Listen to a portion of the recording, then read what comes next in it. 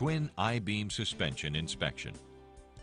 Twin I-beam axles run laterally across the vehicle and are mounted to the frame by a radius arm and axle bushing.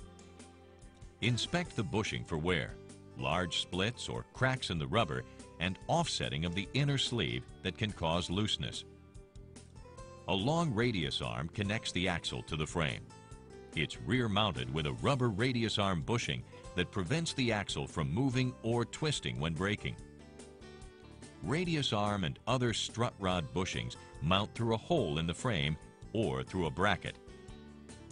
Inspect the radius arm bushings for rubber deterioration and large splits or cracks. If you find a shiny area, the bushing may be worn where it passes within the mounting hole. Check for vertical looseness.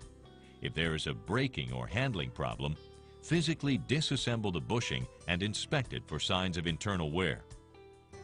Late model Fords have a radius arm bushing on the passenger side near the catalytic converter, covered by a heat shield.